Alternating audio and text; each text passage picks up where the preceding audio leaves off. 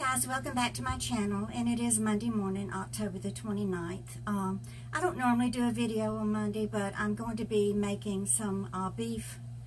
Uh, I'm going to cook a beef roast and uh, then I'm going to give the, the broth to Maudeline because um, y'all know who you've watched me all weekend, you know that she was in a car crash Saturday and uh, she had to have six stitches in her bottom lip.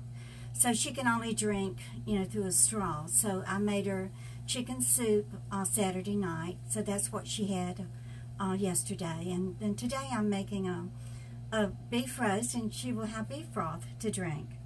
And for y'all who maybe didn't see the video that I did with Maudeline uh, the night that I cooked the Great Northern Beans, here's her picture. Of course, this was taken uh, when she was in eighth grade. Um, she hasn't changed much, though. She's still my little girl. and um, to, to clarify, uh, I am not related to Maudeline. I've known her for uh, since I moved into this studio apartment seven years ago. Um, her family is from Haiti. They immigrated here when she was about five years old.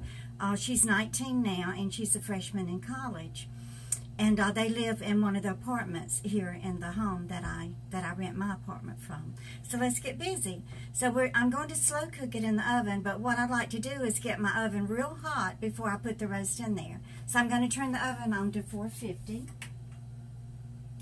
And um, let me tilt this down so you can see my cooking area. So I have my crock pot here, and I sprayed it and put some olive oil in it. So I'm going to get it real hot because I want to sear the roast. And um, I did buy this beef uh, chuck roast. Uh, so I'm going to wash it. I'm going to save the blood that's in it because that'll uh, that'll help add to the broth.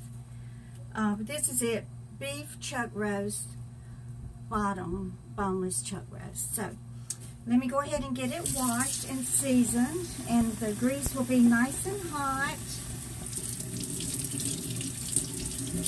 I did have it frozen and then I thawed it out yesterday thinking that I was going to to cook it overnight but then um, my friend Linda called and wanted to take me out to eat at Red Lobster last night. So that was such a wonderful treat. Um, we got it was it was a lunch special but they were offering it on Sunday.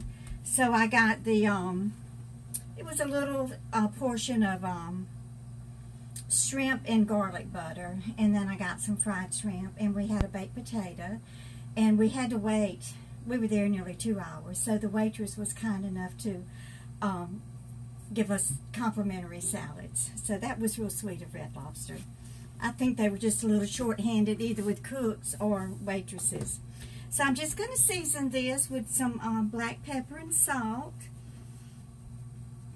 Um, Maudeline is doing okay. Um, as I said in my Saturday videos, the x-rays of her neck and back came back normal, so she did not injure any vertebrae or her back in any way. So we're thankful to God for that.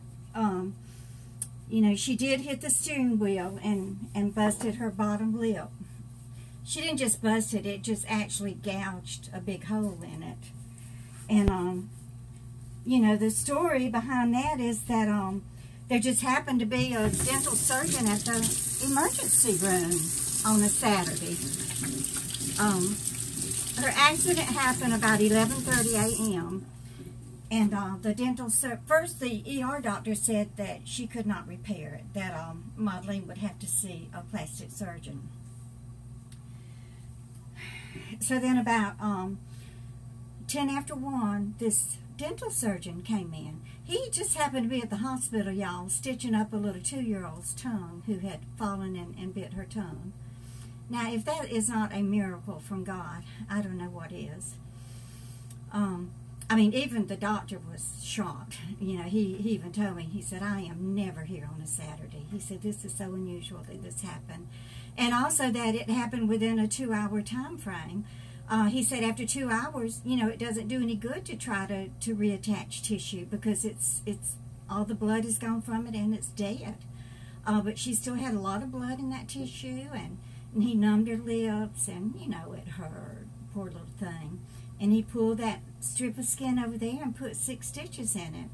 And already it looked so much better. So um, I think my olive oil is hot, so let's get this roast in here and brown it. Oh yeah, I hear it sizzling. Now normally when I cook a roast, I would um, dredge it in flour and, and brown it. And then I would remove it from the grease. Um, and then I would make take some flour and brown it in that grease and make a nice thick gravy. But I don't want gravy for this roast um, because Maudeline needs broth. So that's what we're going to do is just, um, I'm going to put it in this 450 degree oven for 15 minutes and then I'm turning the oven down to 250 degrees and it's going to cook all day and then she'll have the the broth for her dinner. Um, you know, she's very self-conscious, being a, a, teenager. She's self-conscious of her her lip, but um, you know, she got up and went to her college classes this morning. Uh, her friend JoJo took her, so um, you know, we're back to to square one again with um, you know, we've got to file the, the insurance claim and have the adjuster look at the little Nissan Versa. I have a pretty good feeling that it's total because um, she was hit on the passenger side and then she spun around and hit the fire hydrant and the utility pole on the front of the car. And um, so I reckon, you know, she's back at square one. Um, you know, we'll have to provide transportation for her we'll figure it all out. Uh, she did get the job at the Guess store at the outlet mall, which is about, I guess, about seven or eight miles from here. So, you know, that's going to be some challenges there, but um, I'm going to just keep praying about it and, and thinking positive, and God will work everything out. Um, you know, I know some people think, well, if, if God had been watching over her and taking care of her, she would have never had the wreck in the first place. Well, I don't think like that. You know, I I think that we have free will. You know, if we didn't have free will, you know, we wouldn't be able to live. We would just have a very boring and dull life. And um, but God does put people in, in places to, to protect us and take care of us. Um, when Jeremy was killed in the car crash in Kissimmee, Florida in 1997, uh, he was sitting in the back seat with two other teenagers on each, um, one on the behind the driver and one in the middle, and Jeremy was on the right side. Well, the right side of the car hit a palm tree, and palm trees don't budge. So the back door, it, it went into a V, and it crushed Jeremy. It, it crushed his heart, and you know, his stomach, everything was just crushed. And um, there was a fire, a crew of firemen on the way back to their station from another job that they had been called out on. And um, they just happened to be behind them when the crash happened. So they immediately, you know, um, tried to save Jeremy and they called the med flight and, and got him on the med flight, but Jeremy bled to death before they even got him to the Orlando Regional Trauma Center.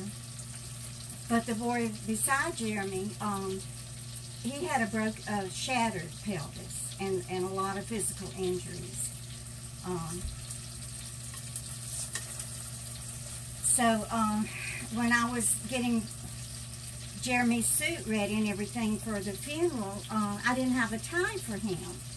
So we went to this um, men's store there in Kissimmee, there on Main Street, and my sister and brother-in-law had come to help me. So we went in there, and um, the man that waited on us, you know, said, you know, can I help you? So um, my sister said, um, we need a, a, a tie for um, she said my nephew was killed yesterday in a in a car crash and and we need a tie for the funeral. And that man had to grab on to the counter, y'all. He said, Jeremy saved my son's life. His son's name was Grant. And he said Grant was sitting next to Jeremy in that car. and that the fireman who came there to try to help told him that it was Jeremy who saved his son's life because he cushioned him from the car crash. So, you know, even in my son's death, he saved somebody else's life. Isn't that amazing? So anyway, um, let me show y'all how beautiful this roast is browning up. I do have the fire on high. Okay, so what we're going to do, uh, I'm going to add some water to this. Let me go ahead and get the water running kind of hot here. So I'm going to add water to it. Now I'm not putting a Trinity in here. I don't like bell pepper in my roast. So I just have um, part of the Trinity, which is um, well, I guess you could say instead of the bell pepper, we'll substitute carrots. So I do have three items. So I have the onions. So I'm going to go ahead and throw those in. I have, um, these are still those little tiny onions that I got from the food pantry. So I put three in there. So I have the onions. and I have some of the carrots and celery. Now, Maudeline doesn't like garlic, but I want the antibiotics, you know, that to come into the broth from the garlic. So what I did, I just peeled it and left it in big chunks. That way I can pick it out for her. And then I just have um, a few potatoes. You know, I have them in pretty big chunks. So I'm going to throw those in too. Okay. Now my water is hot. I'm just going to add a, a glass of water.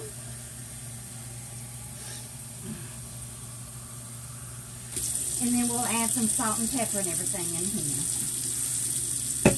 I'm going to put, there's a little bit of uh, blood left in here, so let's pour that in there. We want all that juice that we can get. Let me add one more glass of water. Well, about a half a glass. Let's see, where do we stand on the water? Okay, that looks good. So I'm going to salt and pepper these vegetables. There's some black pepper and salt. I'm not going to put the Tony Chachere's in here because, you know, it does have um, chili powder and cayenne in it, and I do not want that to get on Maudeline's lip. So we're not going to do that, but I am going to add my my Lea & Perrins Worcestershire sauce. So, um, what I'm going to do now, like I said, put it in this 450 degree oven for 15 minutes. That way it'll get it to cooking in the oven. Kind of get it a head start. And then I'm going to turn it down to 250 degrees. And then I'll be back in about six hours with the second part of this video. And I'll show y'all the results of it. So here we go. And y'all make sure you come on back now. Bye.